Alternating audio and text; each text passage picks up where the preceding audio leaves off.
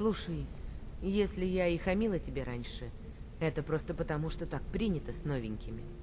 Понимаешь, о чем я? Послушай, я тебя почти не знаю. Я тут никого по-настоящему не знаю. Да какая тебе разница-то? Мы же не семья, мы делом занимаемся. Что, хочешь узнать обо мне? Ладно, я тебе расскажу. Я тебе расскажу, как я была совсем еще девчонкой. Жила на свиноферме в забытой богами глуши. У нас на всю семью и одной монетки не было. Ели мы ту же бурду, которой кормили свиней. Постой, дальше лучше будет. Как тебе понравится то, что на нашу ферму напали бандиты и перебили всю мою семью, хотя никто против них оружие не поднял? А вот и лучшая часть. Они меня забрали как добычу. Насиловали две недели. Перебрасывали от бандита к бандиту как... Как...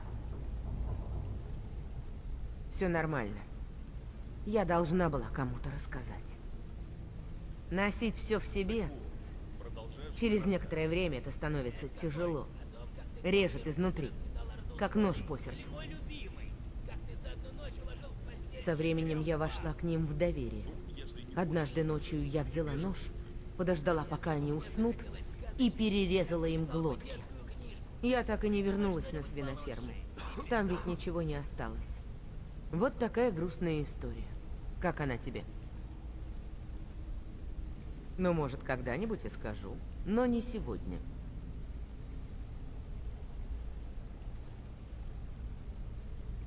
Увидимся в гильдии. Надо же.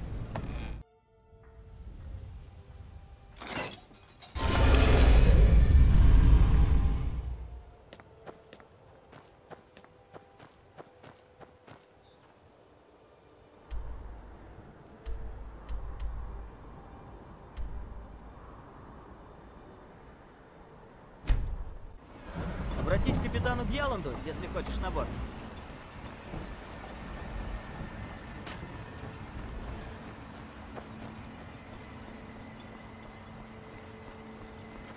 Если бы он, нам бы уже пришлось дома из пекла откапывать.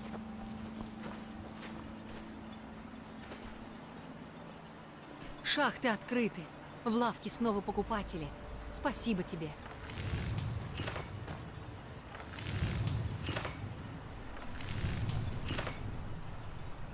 Как шахты открылись, сразу тут все завертелось. Не хотелось бы, чтобы все это пропало. Отличный вопрос, и приезжие чаще всего мне его задают. Ну, я бы и рад тебе что-нибудь романтическое рассказать. Но на самом деле я просто хотел денег подзаработать. Вот и выбрал Воронью скалу. К тому же в Рифтоне умением чинить костяную броню много не заработаешь. Был у меня дружок, темный эльф по имени Ванри. Очень талантливый броник. Кучу времени с ним проводил. Все учился разным технологиям.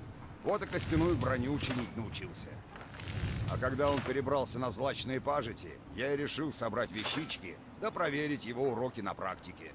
Вот с тех пор тут и живу.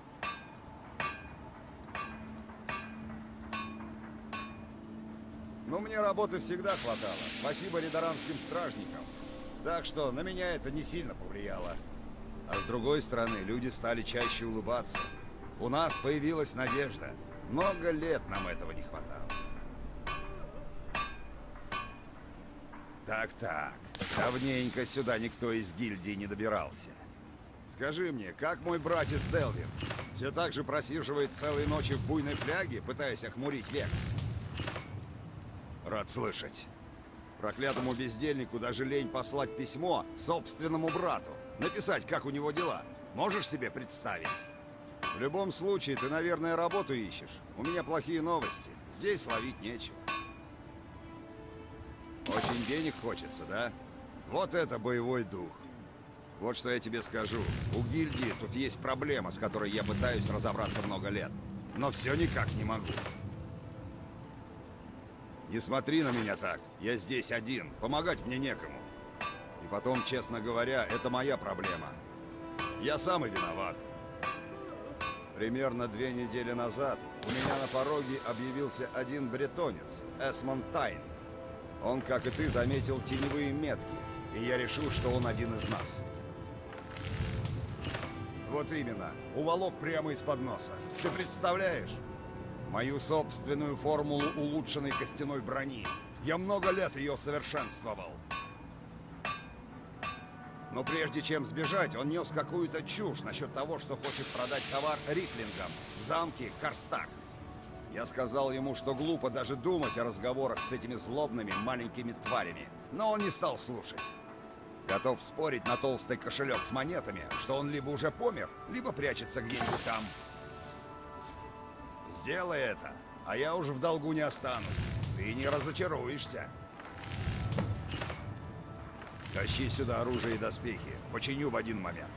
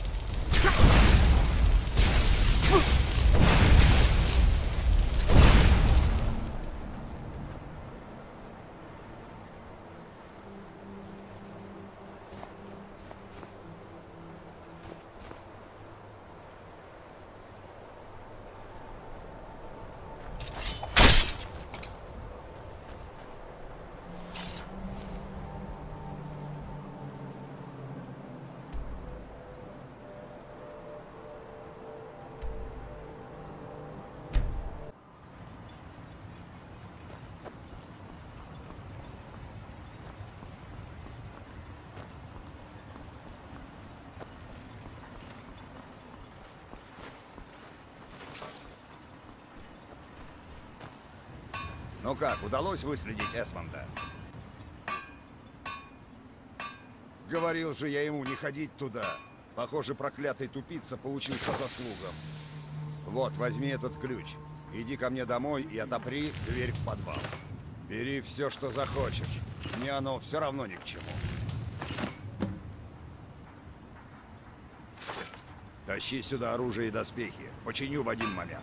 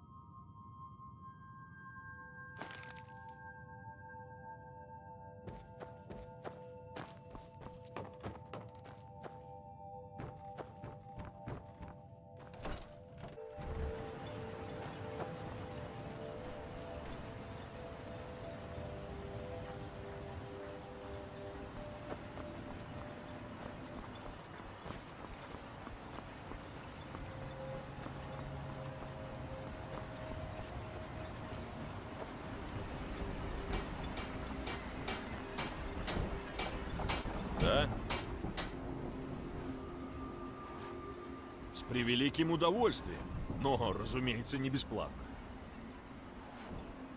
Поднимаем паруса!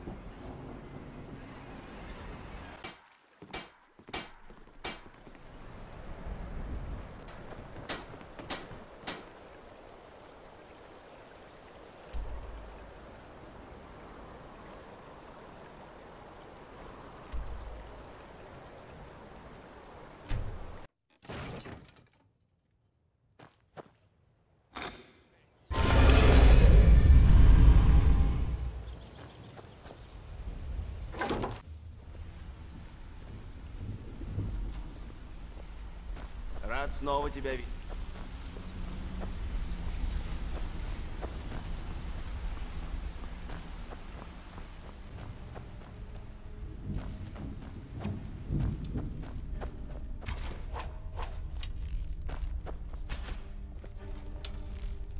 Хочешь поговорить?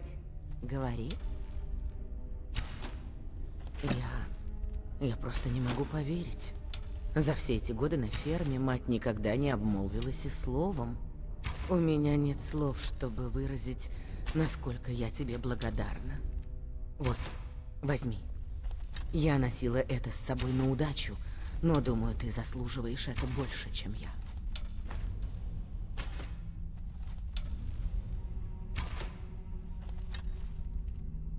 Ну что ж, идем.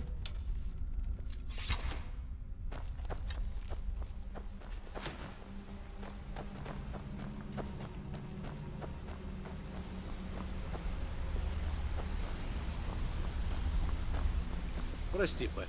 У меня есть важные дела. В другой раз поговорим.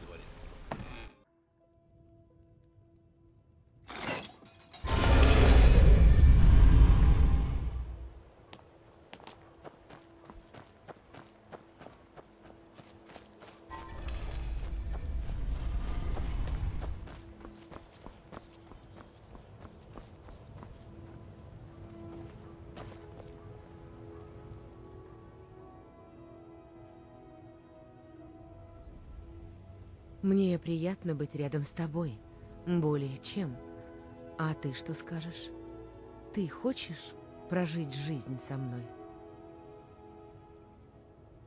Хорошо. Значит, мы будем вместе. И пусть весь Скайрим подождет.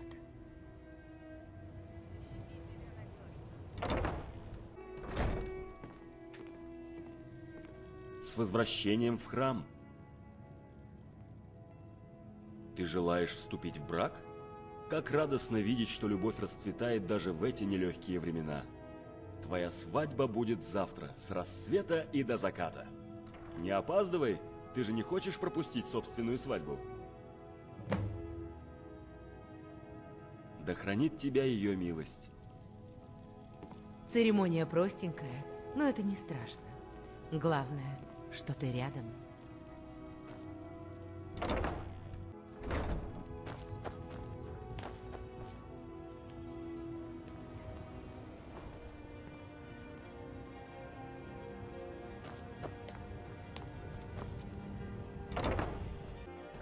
Вот и наш счастливый жених.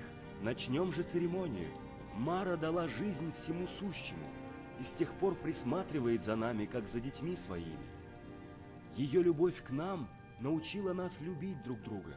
Ее любовь показала нам, что жизнь, прожитая в одиночестве, и не жизнь вовсе. Мы собрались сегодня здесь, под любящим взором Мары, чтобы засвидетельствовать вечный союз двух душ. Пусть они будут неразлучны в этой жизни и в следующей, в богатстве и в бедности, в радости и в горе. Согласны ли вы по любви связать свои жизни вместе, сейчас и навсегда? Да, сейчас и навсегда. Согласны ли вы скрепить свой союз и жить в любви отныне и навсегда? Властью, данной мне Марой, богиней любви, объявляю вас супругами. Вручаю вам обоим эти кольца, благословленные милостью Мары. Пусть они хранят вас в вашей совместной жизни. О боги, это самый счастливый день в моей жизни. О боги, Это самый счастливый день в моей жизни. А где мы будем жить? Конечно, теперь мой дом. Твой дом. Нам нужен дом с отдельной комнатой для детей. Тогда до встречи дома. И не заставляй меня долго ждать.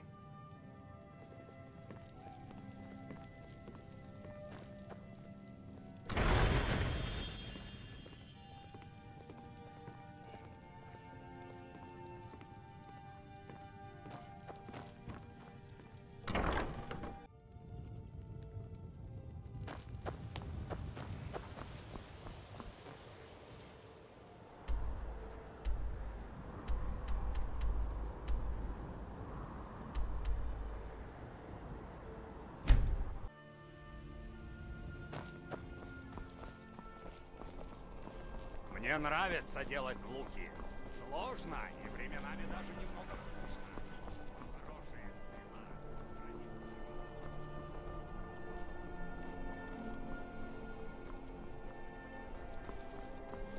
Мой кузен борется с драконами, а мне что досталось? Караульная служба.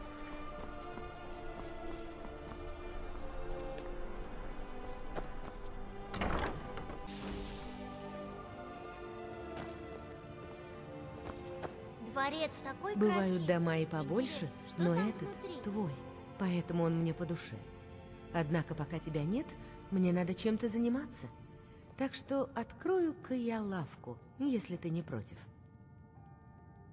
Мне бы стоило задать тебе тот же вопрос. Ну да ладно. Так и быть. Вот, ешь, и до завтра больше ничего не проси. А, отлично. На улицах столько стражников, что я даже не волнуюсь. Ну что ж, идем. Привет, пап, с возвращением.